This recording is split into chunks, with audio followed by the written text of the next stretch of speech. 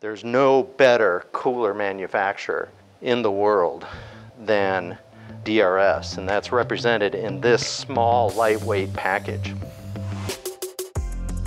Hi, my name's Chris Johnston. I'm the president of Sierra Olympia Technologies, and I'm here to talk about a new mid-wave infrared product that we've been selling for quite a few months right now. It's called the HexaBlu. It's a sensor manufactured by DRS. So let's dive into a brief overview of the HexaBlu and what makes it so special.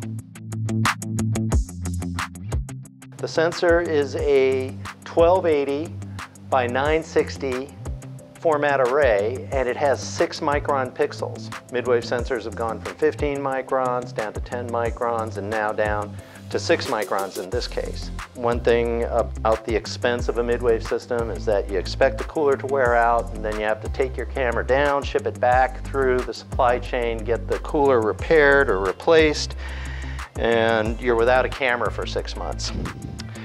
This cooler is by far the longest life cooler on the market. It's a dual opposable piston linear cooler with flexure bearings. The electronics are pretty special too. On board, it's a very efficient, low power, high speed electronic kit that provides just the right functions for integration.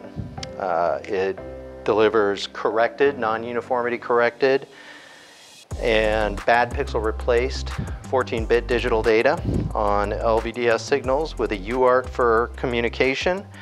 It's got two power supplies, 5 volts and 14 volts, 5 volts for the electronics, 14 volts for the sensor. A host of functions that allow the user to optimize the sensor.